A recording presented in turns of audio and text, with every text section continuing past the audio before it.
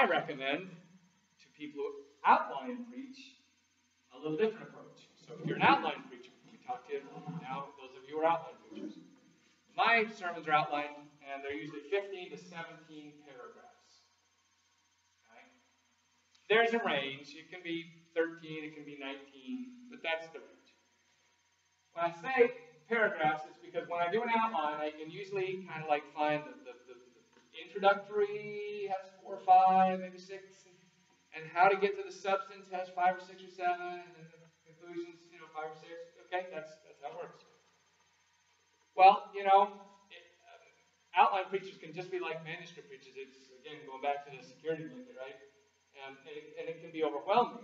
For a long time, I had trouble because I would just, uh, yeah, okay. Now that I'm done with that point, I'm now going to make another point, and I'm going to make it really well. And it was this weird. So I developed something that, that works for me. Okay?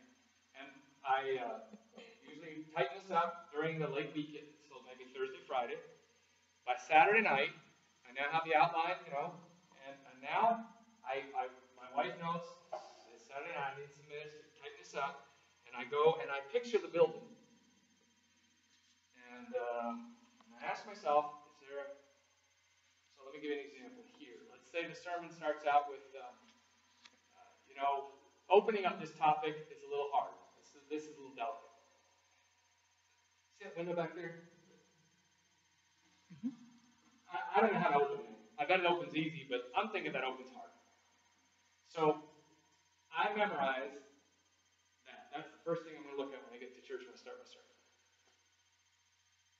Opening this topic is hard.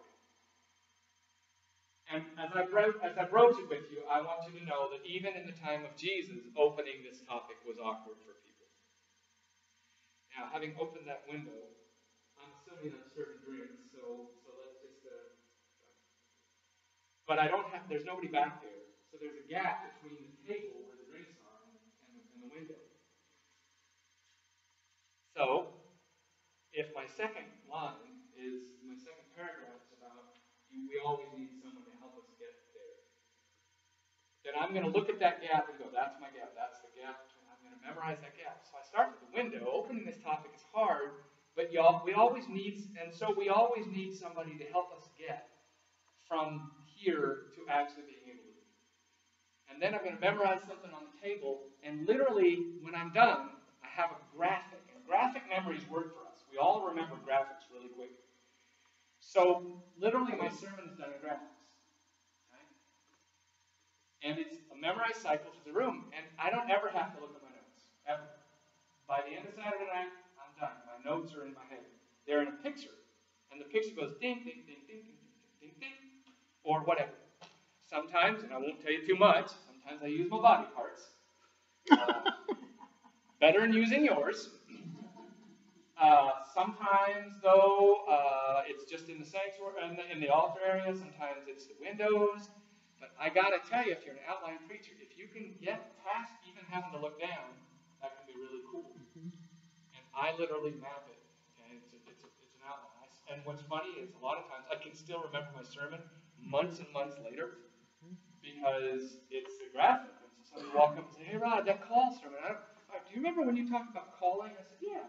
And you, you said something. I said, "Well, actually, you, you mean the part when I was talking about calls that are outside? Because some people are called the secular life."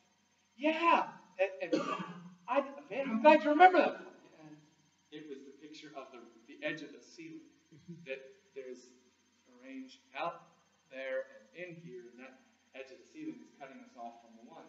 That was a good memory for me, right? So literally, I put many of my sermons into a physical structure. Why? Because I really want to reach people. I don't want to be distracted by my content or by tracking the order. I've worked on that thing for weeks, if you count the sermon topic picking, and sermon series picking, months. And this week, I worked a lot. I want them to have this when they're done. You can go to that mountain just as much as Moses can.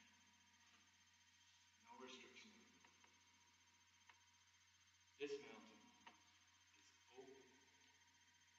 What's that mountain? Mount Whitney? Is that when you drive to the top of Mount Pikes Peak? Yeah. Okay. I, that's on my list to research this week because I may be using. There's a road. This is not some obscure mountain in the Himalayas, or Mhm. I'll have to say Himalayas here, right? Mhm. This is Pikes Peak. You can go. Mhm. You can go if you're handicapped. You can go if you're deaf. You can go if you're broken. You, you can take a bus and somebody else can get you. But you can go. Okay? Pikes Peak. It's not, you know, it's not Sinai anymore. God is open. Right? So you see that? So now that's notice that's a, that's a thoroughgoing image. I could use that image from the beginning of the sermon to the end, which is what I'm considering doing. But it's also a graphic. Done, I wouldn't be sad if people walked out saying, "Wow, thanks, Rod. I can go too." Yes, you can. Okay? I won't be sorry if they, that's what they hear repeated. So, so a couple of things you might want to keep in mind. It's funny, this subject is delicate to me. Jesus was hilarious. He used humor all the time. Matthew 6, when I first learned about Matthew 6's humor, I did a study on it and found out it was funny. I was reading Bill Cosby's book, Fatherhood, and was amazed that Matthew 6 was funnier than Bill Cosby's book, Fatherhood. it's really funny. It uses huge, silly exaggeration to make a point. Some of it gets lost in Aramaic. I did learn this. This is something you won't know. A Bible scholar would have been able to give to me that I might have to give to you. So in Aramaic, it seems likely that Jesus was saying, remember, don't uh, don't uh, don't have the trumpets play when you give alms. He says, don't let your right hand know what your left hand is doing. Apparently, the one was uh, trumpet, uh, a band leading hand. Rod Brayfindley is now going to give alms.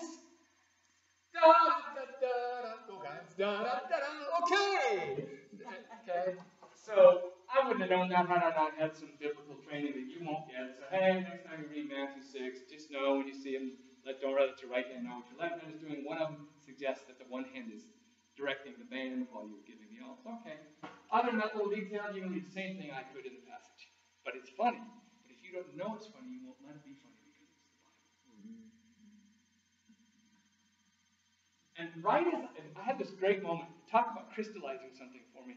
I'm reading about Jesus' use of humor from a boring text on Jesus' use of humor. And I'm in a church where the scripture reader, it's one of those churches where everybody has a Bible. Mm-hmm. And I'm up the front, I guess maybe I was speaking, I don't know. Anyway, scripture reader says, Would you all now please turn in your Bibles? And every head out there goes, and I was stunned, like, wait, wait, no, it's, it's funny. Um, so, I think humor is good in. Now, the reason I feel delicate about this is because I've seen some horrendous. I went to a church, Pastor, this is how he starts sermon. Hi, folks. Thought I'd read a few lines I read on the internet this week. And he reads some funny things off the internet. And then he puts it down. Today I want to talk about, and just uh, zero. And his sermon was serious. He never was funny throughout his entire 45 minute sermon. Except then, which was unrelated. And so I say, yes, use humor. But maybe I need to be more careful. So now I'm going to challenge you very specifically. I, I think I have, we have to be done at 3.30, right? I, I, I think I have time to do this. When I was sent to start a church for us in McKinley, I went to Kim Leslie. He was going to get a PhD in early church. It was his interest. So I called him up and said, Could we talk? And uh, so I said, Here's the. You know, I've read a lot about the early church. I was kind of taken with the subjects. I've got all these books on early Christianity, first 200 years. And but you know, I read them like scholars. I you know, I don't really. But you've read it a lot, and you've read it way better. Could you tell me how did church feel? I kind of know what they did. Would you please explain to me how it felt?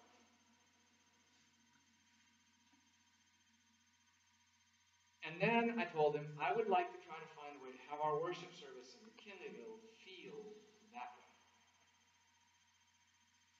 Now, the shock for me was our sense of reverence and quiet and fearful respect or whatever, it just isn't part of the early church's story. They had this sense of absolute Hebrews, liberation. You are now free to enter the throne room with boldness. There was a glee, joy that many of your people would be offended at. I can't believe dishonorable, disrespectful tone that you. So I say it to people as often as I can this way. If you can convey the tone of this message, of the life of God planted in you and in me and the planet, of the life of God planted here to make the whole world an expression of His will. If you can, if you can put that tone in your sermon, you're going to do all right. Now, that's when humor works. When it's a celebration of the positive message, this amazing gift that we're created. Now, if it's just humor, because, well, you know, then it doesn't do much. You see the difference? Now, heads up, if you have a younger congregation, their sense of humor is different. And if you have an older congregation, their sense of humor is different. I found it it's so interesting. In Chico, we had a young congregation at 9, older congregation at 11. And if I did prep humor, set up humor at 9, they wouldn't laugh. You know, um, I walked into a bar one day, you know, you could feel the younger people going, oh yeah, it's a. Okay, joke. Ah, right? But at 11, they loved setup humor. I walked into a bar one day.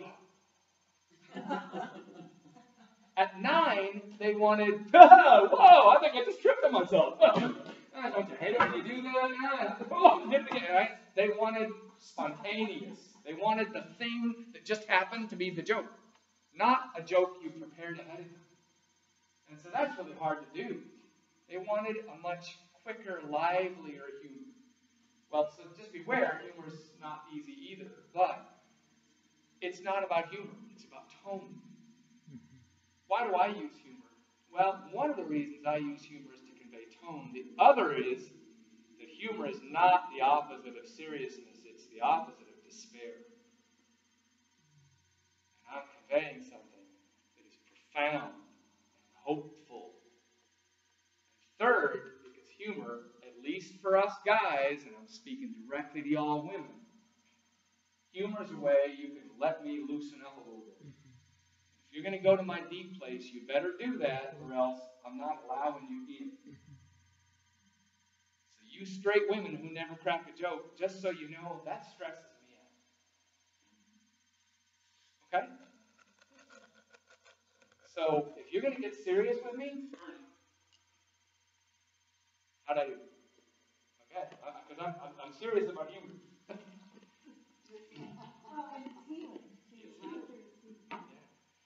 And you know, there's certain tones of laughter and certain types, right? There are mean laughter, and we don't do those, but there's a great. Okay, so I recommend tone above all, humor as possible. I recommend that you find access points and that you access people with your face, with your tone. But there's some other logistical preaching. So what I'd like to do is make it irritated with me by being too repetitive. I don't want to do that. Uh, I'm not going to preach a sermon. I feel kind of awkward about doing that. So I thought I'd,